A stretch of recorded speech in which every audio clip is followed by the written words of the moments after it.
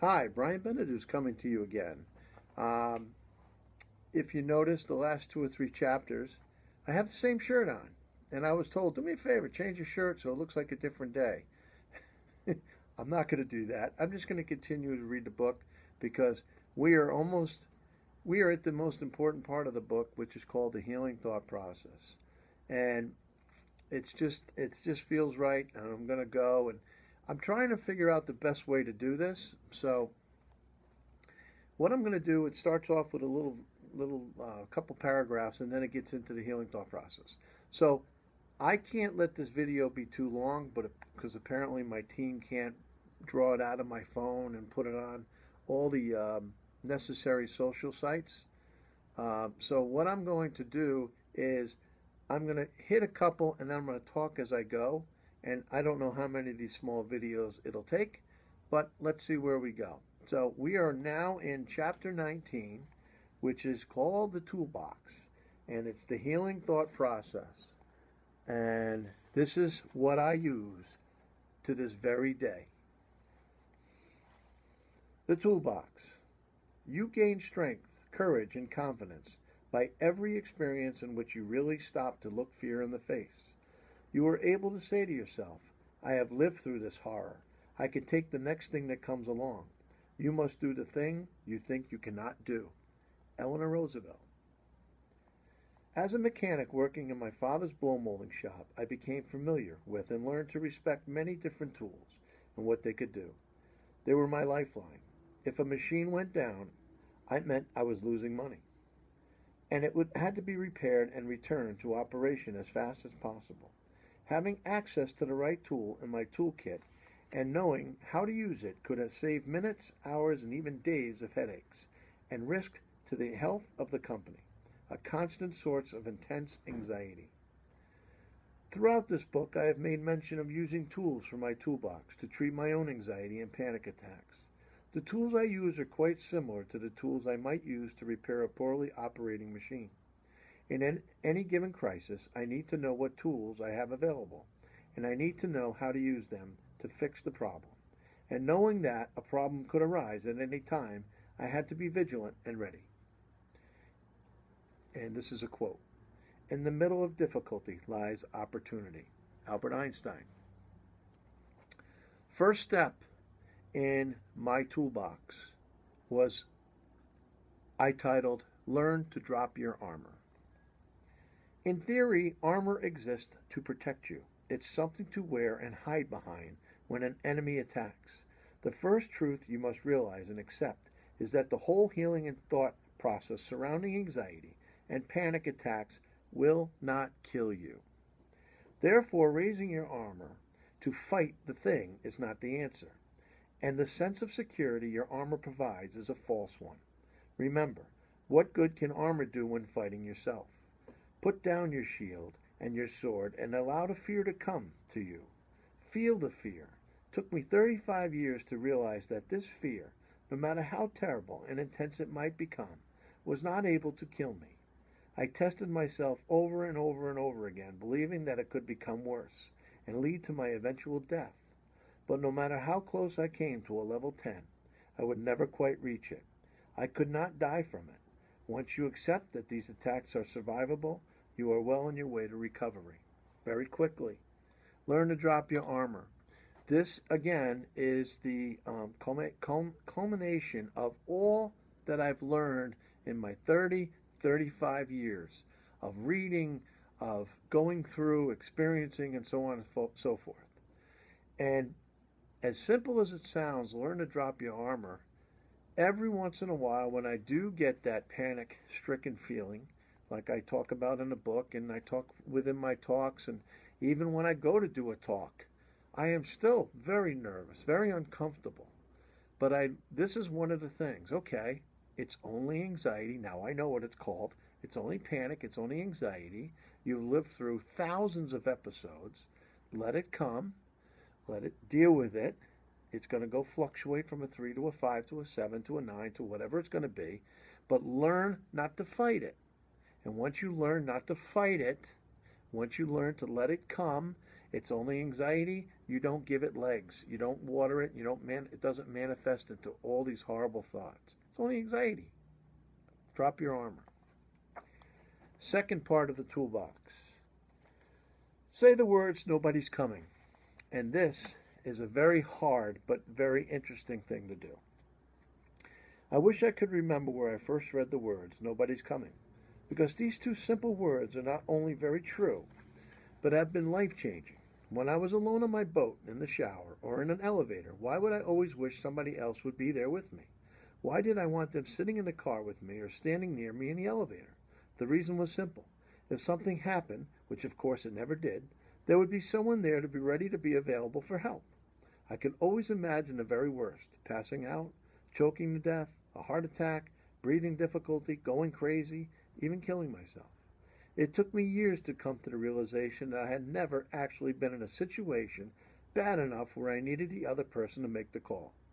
You will learn and eventually come to appreciate that you have both the will and the power to let that fear come to you. Let it pass through you. Let it leave you. You do not need anyone else. Nobody's coming, and that's a wonderful thing because the healing thought process doesn't start with them, it starts with you. What more to say than that? Who else are you going to rely on than you? Okay? Easy to say. Trust. This built, book is built on trust. Okay? Every situation, and I've mentioned many of them in my book, every single situation I've been through, I always was looking for somebody, for a hospital sign, for somebody to help, for some human contact, whatever it might be. But really, what was really the problem here? There really wasn't a problem. It was me, it was my thoughts. And then you might say, yeah, but my thoughts will spiral out of control until what? What's really going to happen? Your heart's going to beat faster. You're going to be sweaty. You're not going to kill yourself. You're not going crazy and you're not going insane. So, nobody's coming. Oh, yeah, nobody's coming. All right. So, nobody's coming. I can deal with this. It's not Joe Tough Guy. In fact, it's just the opposite. Be, be sensitive to yourself. Talk nice to yourself. Nobody's coming. Nobody's coming, Brian. Drop your armor. It's only fear. It's only anxiety. Let it come. Let it flow. Number three in the toolbox visualize good, not bad. I'm not the first person to advocate positive visual, visualization, and I've come to appreciate that the reason it's so popular is because it really does work. Every time I was alone, I would think about and visualize all the bad things that were about to happen to me. Why? Why on God's green earth would someone want to think about bad things happening to them? But for some reason, that's precisely what I did. And it took a long time for me to realize that I was bringing these thoughts on by myself. It might sound a tad corny, but just telling yourself, out loud if you need to, that it's time to heal can matter. Simply close your eyes and picture yourself placing a small bandage over your bad thought. There's another simple trick that worked well for me, too. I would wrap a rubber band around my wrist, and each time I realized I was having a bad thought, I would snap the rubber band hard enough to inflict a little pain, but not so hard to break the skin. You might need a big box of rubber bands the first week. You'll be amazed at the number of bad thoughts you experience in a day. What constitutes a bad thought? Usually they come in the form of a question intended to enhance your insecurity. What if? How long will this take? Will I be alone? How many people will be there? How can I get out of this? Now, admittedly, these are the easy ones. When you really stop to think about it, and again, I know this from years of experience, it is possible to have 20, 30, 40, even 50 of these thoughts in a minute. With so many negative thoughts flying around your ma- mind, it becomes easy to see why you believe you could scare yourself to death. It's like getting yourself caught up in a swarm of those little black flies known as no-see-ums. First couple of bites irritate you, but after about 50, the bites feel like they're coming from horseflies. You feel like you can't take it anymore. You think you will be devoured alive, and you want to scream. Another technique is to keep a written record of all your bad thoughts for a day, breaking them down into hours and minutes. This will help you see how these thoughts have fed the roots of your anxiety tree and helped it grow. The total number of these thoughts will astound you, and it's almost incomprehensible to think about the total number of bad thoughts you've had in your lifetime. I'm sure you never let anyone talk to you the way you talk to yourself. Changing your thought process in, in this way is extremely hard to do, and it won't happen quickly. But you've taken advice from an expert here. I'm someone who has been through this and come out the other side. You can and will, too. Let it come. You don't need anyone to help you. Patience is the key to contentment. Muhammad. Again, sounds simple. Been doing it and it works. Talk to yourself the way you want people to talk to you. Visualize good, not bad. Why are you creating these thoughts? And please, as I mentioned before, I am not a clinician. I'm an expert. I've been through it. So there's nothing you're going to tell me that I haven't heard or been through myself. And I'm telling you, if you write these tools on a piece of paper, if you take this chapter, rip it out of the book, make copies, if there's one sentence, if there's one word, if there's one what have you that helps you, then use it. I have a piece of paper. I'm going to show it for you.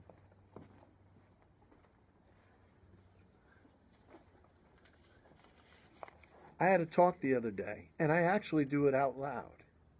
This is what I read before I go on a plane. Man is not worried by real problems as much as imagined anxieties about real problems. Epictetus. Nobody's coming. Anxiety lives in the future. Be strong enough not to fight. Sometimes all you need is 20 seconds of insane courage and your whole life could change. Here it is. 55 years old. 55 years old, I'm showing you this is my Xanax, these are my pills, this is my beer before I get on a plane. This is it. This goes in here and comes out here. I uh, I'm going to again tell you, I'm an expert. I'm not reading from a medical diary. I'm telling you these words work. Don't yeah but me and don't say what if they work. Drop your armor, let it come, positive self talk, read these words, it works. I'm still on the healing thought process. I'm still in my toolbox, but I'm going to move to another video because I'm at 13 minutes and I feel I should do that. Okay?